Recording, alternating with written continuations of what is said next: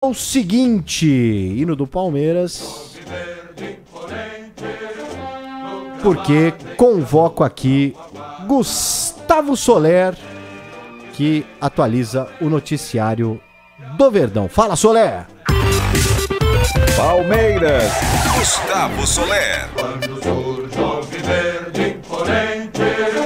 Fala PDV, Ramiro, um abraço para vocês e para todo mundo que nos acompanha aqui nos Donos da Bola da Rádio Bandeirante. PDV, uma notícia ruim para o técnico Abel Ferreira, o atacante Bruno Rodrigues sofreu uma lesão no joelho direito no segundo tempo da partida contra a Inter de Limeira na última quarta-feira. Terá que passar por cirurgia e o prazo de recuperação são de 4 a 5 meses. O atleta que foi contratado nesta temporada por cerca de 25 milhões de reais, então retorna apenas na metade da temporada. Deve estar liberado pelo departamento médico do Verdão junto com o Dudu. E por isso o técnico Abel Ferreira, né, pedindo a contratação de mais um atacante. Certamente o português, na hora da entrevista coletiva, já sabia que não tinha algo positivo sobre a saída do Bruno Rodrigues e agora o Palmeiras continua no mercado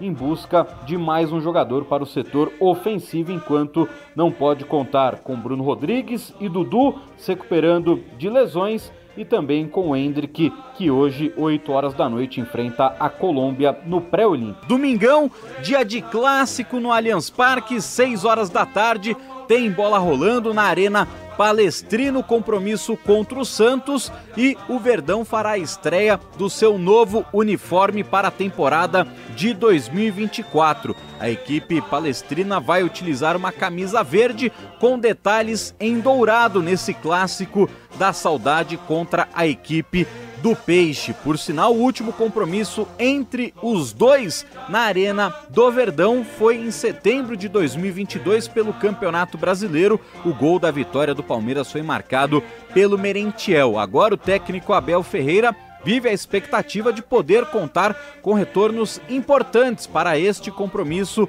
no final de semana. Um deles, o lateral direito Mike, que foi desfalque contra a Inter de Limeira por questões físicas e pode aparecer novamente no time titular nesse duelo contra a equipe do Santos. O outro é Gabriel Menino, ainda se recuperando, realizando a transição física por causa de uma fratura no tornozelo. Gabriel Menino que faz uma semana que está treinando com bola, mas ainda não recebeu o aval do Núcleo de Saúde e Performance, Dr. Gustavo Malioca, do Palmeiras e vive agora o desejo e o sonho de poder ser liberado pelo departamento médico e ficar entre os relacionados do técnico Abel Ferreira neste jogo que terá, é claro, transmissão da rádio Bandeirantes no domingão. E vamos trazer palavras importantes agora do técnico Abel Ferreira, que deixou muito claro na pergunta do repórter Bruno Migliosi que ele não está 100% satisfeito com os seus atacantes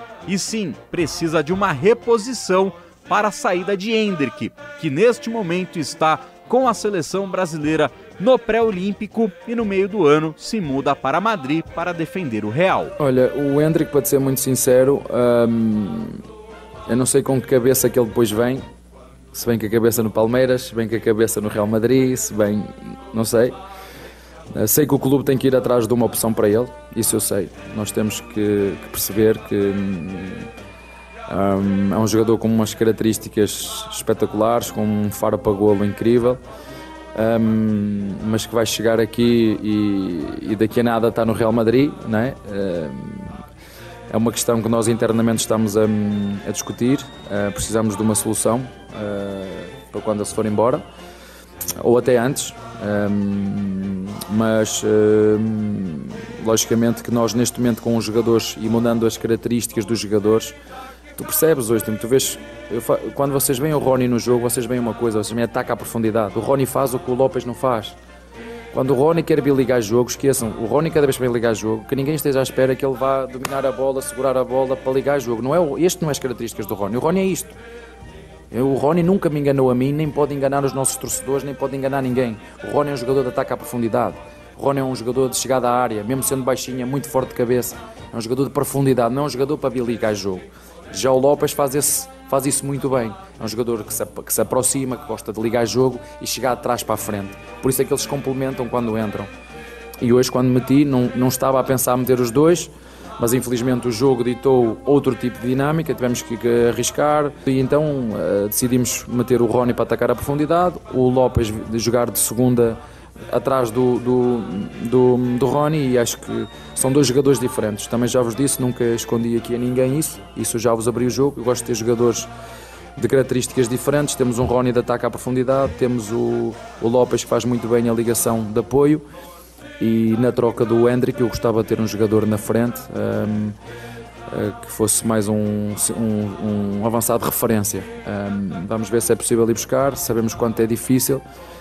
Um, temos algumas soluções, não sei se vamos, vamos conseguir chegar, mas precisamos de um, de um terceiro elemento para, para esta troca que vamos fazer com o Hendrick. O técnico Abel Ferreira também fez provocações falando e abrindo seus diálogos com o atacante Flaco Lopes, o argentino que mudou de número, né? Voltou a usar a camisa 42, a numeração que ele utilizava no Lanús para ver se ele tem um pouco mais de sorte nesta temporada de 2024. E o Abel fez uma comparação com outro argentino do elenco para ver se o Flaco Lopes cai na realidade. O Lopes que também tem um jogador que está, está, está a crescer, eu estou sempre a desafiá-lo, disse parece que não tem sangue argentino. Eh, eu estava-lhe a dizer, ali na rota, estava a dizer, olha, esse está aí ao teu lado, tem, tenho a certeza absoluta, sem lhe tirar o sangue, eu sei que esse é argentino, o Aníbal. Mas tem, tem, tem vindo a melhorar muito e tenho a certeza, estamos a falar de um, um jovem centroavante que Alguns não acreditam, mas eu acredito muito. Faltam equipas que querem equipas vir aqui buscar. Ainda agora o River quer pagar 6 ou 7 milhões por ele, mas quando ele estava no Lanús ninguém foi lá atravessar, pagar 8 milhões para o, para o trazer. Portanto, ele não assinou só 2 nem 3 anos, assinou 5 anos. Eu estou sempre aqui a dizer àquelas pessoas que, que querem tudo para ontem, lembrem-se só do Veiga. É? Quando toda a gente se lembrar do Veiga, aqueles que começarem a criticar os mais jovens, lembrem-se só do Veiga o tempo que demorou até ele ter a maturidade e o rendimento que tem agora. Foi preciso primeiro ser amassado pelos nossos torcedores, porque parece que é um é um critério. O jogador é contratado, tens que aqui amassado nosso treinador, depois ser amassado. Se conseguir esticar a folha, passar a folha a pano, é dos nossos. Se não conseguir, temos que o trocar. Não chega só ser um jogador. É preciso jogar com a pressão de lutar para ganhar todos os jogos e com a pressão de lutar para, para ganhar título. E esse outro argentino, né, PDV e Ramiro, já caiu nas graças do torcedor. O Aníbal Moreno já recebeu o apelido de Hannibal, o canibal o Caníbal Moreno, né, o volante ali de muita marcação, um jogador que gosta de morder a bola os adversários para recuperar ali, sempre com muito vigor físico, e o técnico Abel Ferreira também já está derretido pelo argentino. Em relação ao Aníbal, essa comparação que tu fazes com o Danilo, eu acho que ele tem uma característica muito parecida com o Danilo, que ele dá uma fluidez ao jogo com bola muito assinalável, é um jogador com dinâmica que dá linhas de passe mas tenho uma coisa melhor que o, que o Danilo, que ele caça, é? ele é caçador e, e, para aquela posição tem que ser um, um caçador e eu gosto, eh, ele faz umas duas coisas, ele para além de caçar constrói, eh, desculpem usar esta expressão mais caçador, mas acho que vocês entendem, é um jogador que rouba com os pés e nos dá transição e que nos faz chegar a bola rapidamente aos, aos homens da frente. Um, chegou quando o clube conseguiu contratar, nós já o queríamos contratar há mais tempo, mas Uh, nem sempre é possível. Eu sei que hum, muitas vezes o treinador de Palmeiras faz exigências à direção, quer este, quer aquele, mas nem sempre é possível. Uns porque não querem vir, outros porque, hum, porque não dá, porque são muito caros. Um, mas eu sei que o clube fez um grande esforço e acho que agora com, com o tempo é uma solução boa Acho que vamos ficar com um meio campo fantástico. Quem também gostou demais da primeira apresentação de Aníbal Moreno como titular e no Allianz Parque foi o meio-campista Rafael Veiga. É, na minha opinião, a gente é muito bem servido de volante, né? Você pega, acho que todos os volantes do nosso time têm condição para ser titular. Né? Como eu falei, ele chegou ali, realmente me impressionou também no, no, nos treinos, nos jogos. Você vê que é um cara que, além de marcar, joga muito, é, tem uma qualidade de passe para frente muito boa. Eu acho que conforme a gente for é, é, se adaptando, né, entrosando, acho que ainda tem, não ele, mas acho que o time tem a crescer e né, acho que conforme a gente entrosa, as coisas acontecem muito mais simples, como eu falei, é começo de temporada, segundo jogo ainda. É, não é uma desculpa, mas também a gente tem que saber que a gente não está no nosso 100%. Rafael Veiga, que por sinal, PDV e Ramiro, se marcar uma tripleta, um hat-trick, três gols no jogo, ele vai se igualar a Dudu como maior artilheiro do século 21 pelo Palmeiras. O Baixola tem 88 gols marcados, ainda se recupera de um rompimento de ligamento, deve voltar ali em meados de maio. E o Rafael Veiga já vivendo esse objetivo de se transformar no maior artilheiro do século 21 do clube do coração dele. Lembrando que o Veiga já é o maior artilheiro da história do Allianz Parque com 45 gols. E aí, somando o Allianz e também o antigo Palestra, o Veiga ultrapassou nomes importantes na vitória contra a Inter de Limeira na artilharia nas casas palestrinas. Um deles, César Maluco. Então já dá para ver a importância histórica que o Rafael Veiga tem com a camisa do Palmeiras. E aí já para a gente projetar até algumas possíveis escalações do técnico Abel Ferreira, né? Apesar dele querer ver um pouco mais do Flaco Lopes, quer ver um jogador mais vibrante, que se entregue um pouco mais dentro de campo, a tendência é até de um ataque formado por Flaco Lopes e Rony. Então, passando aqui algumas possibilidades de escalações. Caso o Abel tenha manutenção do esquema tático que ele utilizou contra a Inter de Limeira, o Palmeiras pode jogar com Everton no gol, Mike, Gustavo Gomes, Murilo Piquerez, Aníbal Moreno, Zé Rafael, Rafael Veiga e Luiz Guilherme, Flaco Lopes e Rony. Essa é uma possibilidade.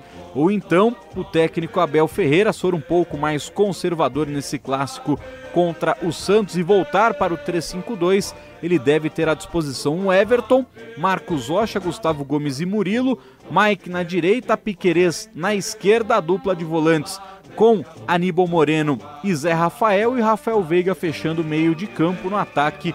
Flaco Lopes e Rony, essas são algumas possibilidades do técnico Abel Ferreira para este compromisso. E a gente já passa aqui, né, PDV? Porque estaremos juntos nesta partida entre Palmeiras e Santos no Allianz Parque, você acompanhando o Peixão. Então, a gente já passa aqui também a escalação da Rádio Bandeirantes que terá a narração de Ulisses Costa, comentários de Mauro Betti e do nosso convidado Edu Dracena.